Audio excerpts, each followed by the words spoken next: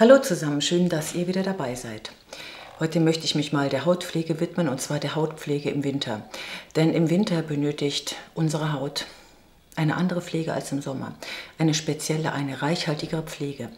Denn hm, damit die Haut im Winter nicht austrocknet, rissig und spröde und schuppig wird und wirkt, hm, sollten wir reichhaltige Cremes benutzen mit natürlichen Ölen, die, oder besser gesagt mit pflanzlichen Ölen, die der natürlichen Lipidschicht der Haut ähneln. Kälte, Wind, kennen wir alle, ne? Die wahnsinnig trockene Heizungsluft strapaziert unsere Haut. Sie strapaziert unsere Haut so sehr, dass viele Frauen, die selbst eine unkomplizierte Haut haben im Sommer, äh, sagen, oh Gott, meine Haut, die wirkt jetzt so, so rissig, schuppig, vielleicht raue Stellen, sie wirkt fahl, dann bedarf es einer besonderen Pflege, denn man kann sich auch falsch pflegen. Bei Kälte verengen sich die Blutgefäße, das heißt, die Durchblutung kann nicht wie gewohnt so stattfinden. Die Folge ist, dass sich die Haut langsamer erneuert. Sie wirkt blass, rau, schuppig, müde und manchmal kriegen, kriegen wir sogar Pickel. Ne? Also klar, wenn die Haut rissig und trocken ist, ist die Schutzbarriere gestört und dann können Bakterien eindringen und schon haben wir einen Pickel. Das geht, also das ist ein Prozess, der passiert einfach. Hinzu kommt vielleicht noch Stress oder was auch immer oder irgendwie eine ungewohnte Ernährung. Das heißt also, die Talgdrüsen stellen ihre Arbeit ein und bilden keinen schützenden Fettfilm mehr. Ja, und hinzu kommt, wie gesagt, ich kann es immer nur wieder betonen, die Heizungsluft, in der wir uns ja, wir befinden uns ja im Winter immer in, in warmen Räumen. Ist, ist ja logisch. Oder wir sind in der Kälte draußen. Und dieser Stress zwischen warm und kalt und vielleicht zu heißes Wasser, auch bitte nicht zu heißes Wasser benutzen, immer nur lauwarmes Wasser, weil das strapaziert die Haut. Und besonders im Gesicht, wir haben ja eine sehr feine Gesichtshaut und wollen dem Alterungsprozess ja so ein bisschen entgegenwirken und jetzt nicht unbedingt ihn noch begünstigen. Also eine reichhaltige Pflegecreme ist besonders wichtig. Sie muss wirklich reichhaltig, also Feuchtigkeit auch, aber auch reichhaltig. Aber darauf komme ich gleich zum Schluss. Angefangen oder fangen wir mit der Reinigung an. Die Reinigung ist natürlich immer wichtig, logisch, aber gerade im Winter solltet ihr morgens das Gesicht immer nur mit lauwarmem Wasser waschen. Nicht so viele Waschgele und, und, und, Reinigungsschäume benutzen oder eine milde Reinigungsmilch. Was ich mache, ich benutze Rosenwasser.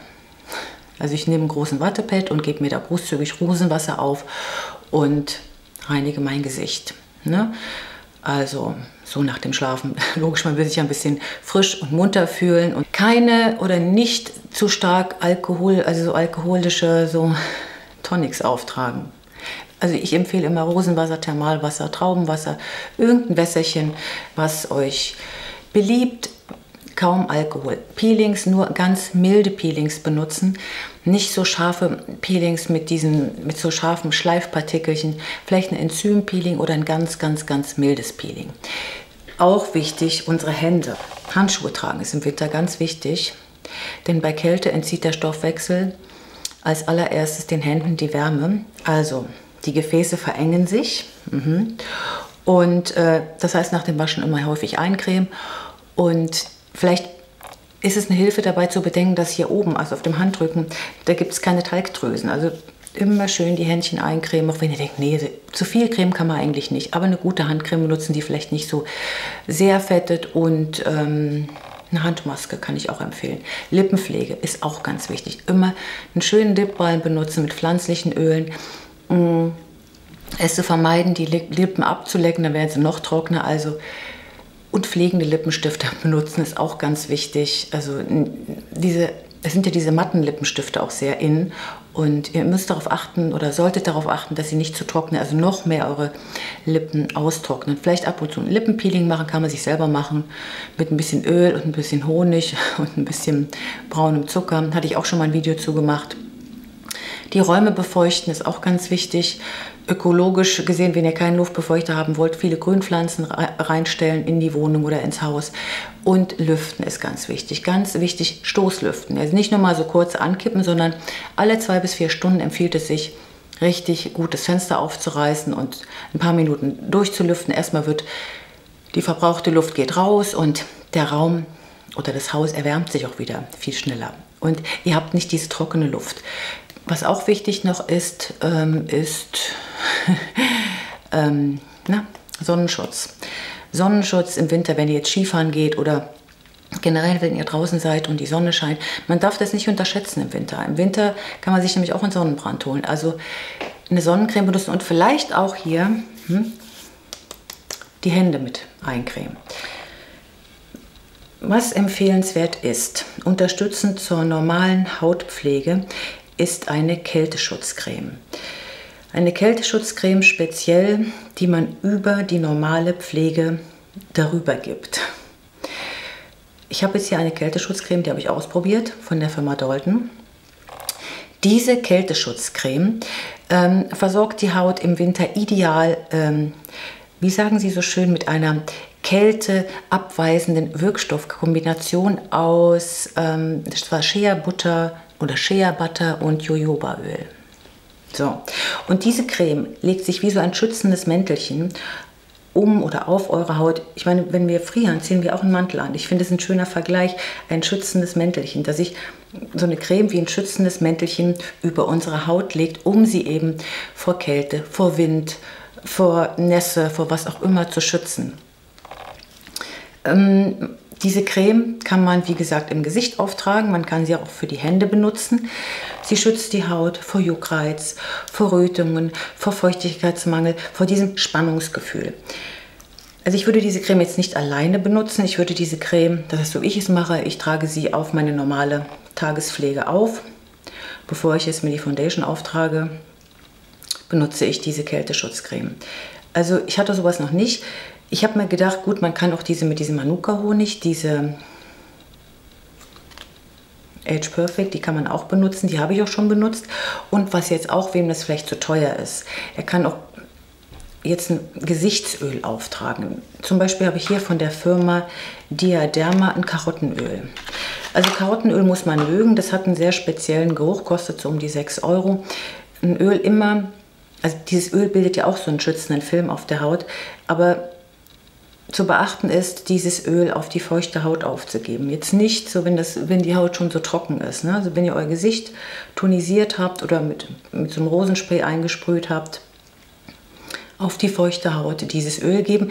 Der Vorteil ist beim Karottenöl, dass ähm, auch dieses Öl so einen schönen, leicht gebräunten Ton hinterlässt. Hm, durch das Carotin. Es riecht ein bisschen gewöhnungsbedürftig, aber ich bin damit eigentlich auch ganz zufrieden. Ich habe bisher, wie gesagt, drei Sachen im, im Angebot, die ich so im Wechsel benutze. Und ähm, ich bin von dieser Creme wirklich angetan, weil die, ich habe sie, wie gesagt, für die Hände schon benutzt, im Gesicht und ich leide zum Beispiel darunter, dass ich ganz schnell eine rote Nase bekomme, wenn es kalt draußen ist. Ja? Also, und diese Creme, die schützt wirklich vor, vor Rötungen. Besonders geeignet auch für Frauen, die jetzt unter Kuperos leiden. Hm? Das kennt ihr wahrscheinlich auch, denn wenn es kalt ist, dann, dann, dann kommt das so richtig raus, diese Rötung. Ne? Und wie gesagt, diese Kälteschutzcreme, die legt sich wie ein schützendes Mäntelchen über unsere Haut und schützt sie. So. Und das wollte ich euch eigentlich einfach nur mal so mitteilen jetzt im Winter, ich kann ja auch schminken, ich kann euch auch kochen, ich kann auch äh, euch Sachen vorstellen oder was ich wegschmeiße oder was ich eingekauft habe oder was ich aufgebraucht habe. Aber ich finde es ganz wichtig, eben auch die Hautpflege oder der Hautpflege besondere Aufmerksamkeit zu widmen, weil die Schönheit, was nützt uns all die Schminke, wenn unsere Haut nicht in Ordnung ist. Und das merkt ja jede Frau selbst, wenn irgendwas nicht stimmt. Und äh, wie gesagt, auch die falsche Pflege kann dazu beitragen, dass ihr auf einmal im Winter ein ganz merkwürdiges Hautgefühl habt. Wenn ihr zum Beispiel meint, naja gut, ich habe jetzt eine fettige Haut, also ich nehme jetzt nur Feuchtigkeitscreme. Trotzdem braucht die Haut auch ein bisschen Fett. Weil dieser Fettfilm, wie gesagt, da die Talgdrüsenproduktion hier etwas langsamer arbeitet ne, im Winter, dass ähm, dass die Haut von außen so einen natürlichen Film, so einen Schutzfilm, dass der Haut so ein Schutzfilm übergelegt wird. Vielleicht kann man das so ganz gut erklären, sich das so, so bildlich vorstellen, also ein Schutzfilm. Und wenn ihr das Gefühl habt, mein Gott, dann glänze ich, aber dann könnt ihr mit, mit so einem Kosmetiktuch drüber gehen oder mit diesen Blotting Paper Tüchern, bevor ihr euer Make-up auftragt. Also, Winterschutz für die Haut ist ganz wichtig. Schaut mal nach, ob ihr irgendwelche Gesichtsöle habt. Ähm, die ihr vielleicht verwenden könnt. Oder ich verlinke auch gerne diese Kälteschutzcreme von der Firma Dalton. Auch diese L'Oreal mit Manuka Honig ist auch eine wunderbare Kälteschutzcreme. Oder eben auch einfach ein Karottenöl. Ihr könnt auch ein Rosenöl nehmen oder ein Jojobaöl oder was auch immer ihr für Öl habt oder ein Mandelöl. Man kann vielleicht auch dieses Öl so ein bisschen in die Creme mit einarbeiten. Ja, ist auch eine Idee, dass man das so ein bisschen mischt auf dem Handrücken. Wenn ihr das Gefühl habt, nee, ich möchte mir jetzt nicht das Öl auf die Haut geben. So, ihr Lieben, in diesem Sinne wünsche ich euch wie immer das Beste. Seid besonders gut zu euch und wirklich ganz, ganz besonders gut zu eurer Haut. Sie wird es euch danken. Tschüss.